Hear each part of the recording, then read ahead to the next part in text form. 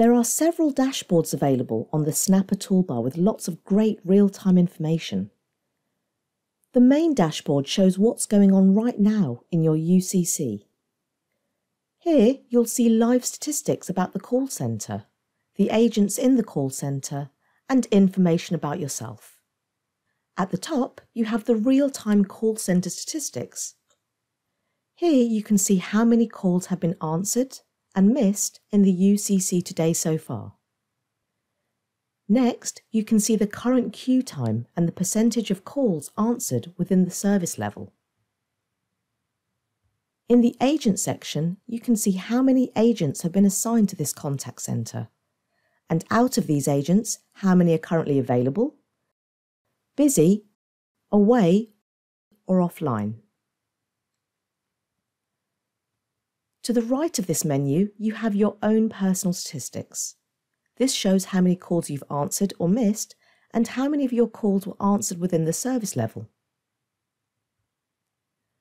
Call on behalf is just below. You can use this feature to call or chat to a customer on behalf of another UCC within your organisation.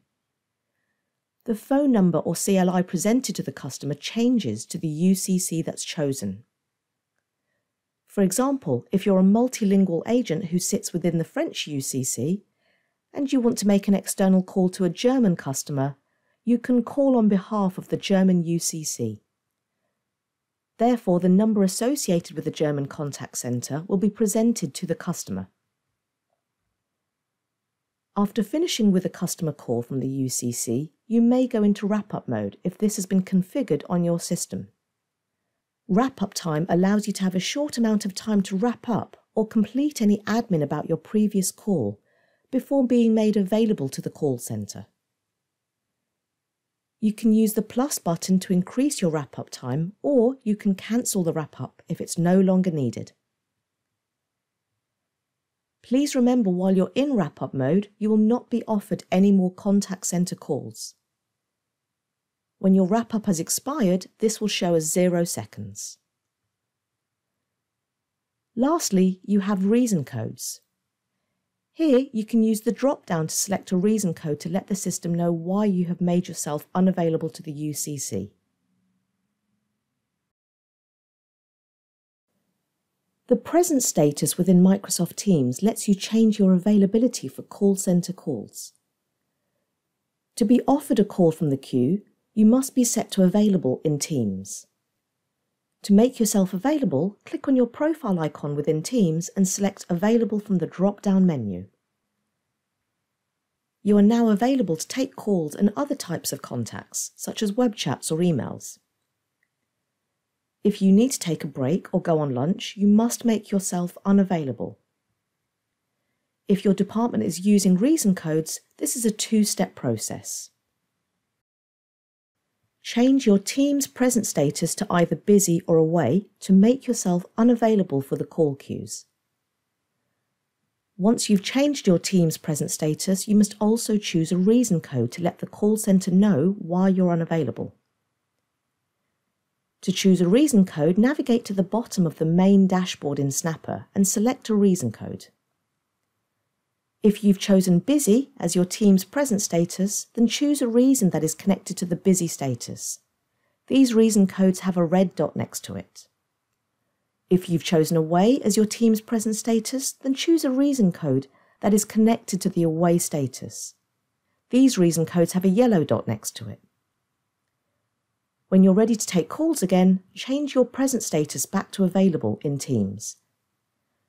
This will clear both your reason code in Snapper and make you available to start taking customer calls from the call centre queues.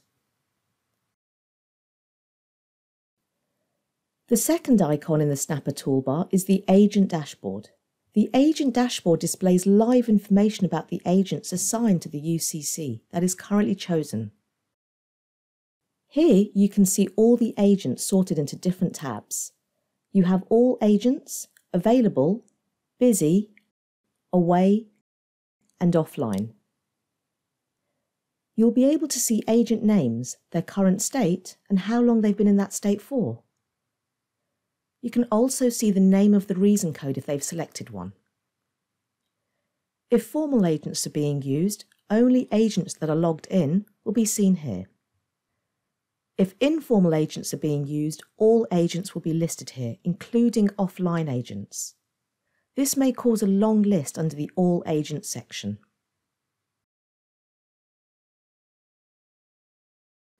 The third icon on the Snapper toolbar is the Calls Overview tab. Here you can see more detailed queue information and further real-time statistics about the call centre. The displayed information includes all answered calls, missed calls, as well as the average queue time and the percentage of calls answered within the service level. Underneath are all the customer calls, chats and conversations currently taking place within the call centre. This is great to see the customer's journey from entering the IVR all the way to being connected to an agent. You can see all incoming conversations including phone calls, chats and emails.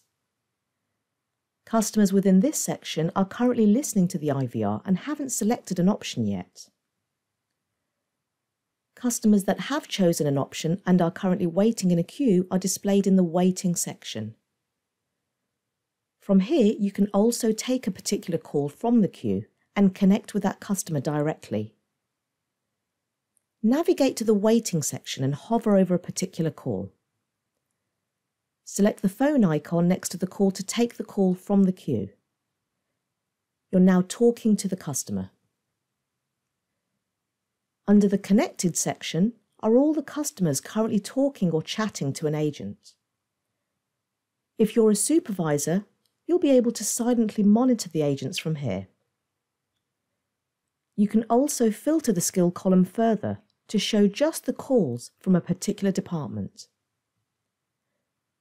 If your company is using the quality monitoring feature, customers that have finished their call with the agent will be transferred to the quality monitoring section.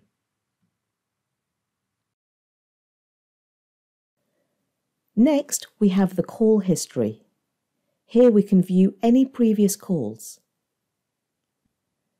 These can be sorted by incoming, outgoing and missed. Details such as the date and time the call was received and the phone number of the customer will be displayed. If the customer was internal, you'll be able to see their present status. For incoming and outgoing calls, you'll also be able to see the call duration. Select a call to see further actions that are available. The green phone icon enables you to call the customer back. Under the three dots, you have two further options. Delete the call and see the call history.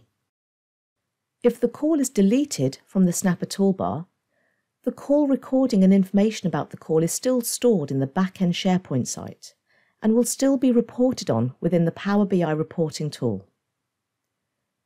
To view the call history between yourself and the customer, select Get Call History. Please be aware that if you have deleted the call history, some information may be missing. A missed call is identified by the red phone icon. If the call you've selected is a missed call, you also have the option to mark the call as handled. By marking a missed call as handled, it gives you a great visual to show that you've dealt with this call. This could be by either calling the person back or perhaps a colleague has dealt with this call for you. To mark a missed call as handled, click on the tick icon. It will now appear greyed out. Selecting the tick again will unhandle the call.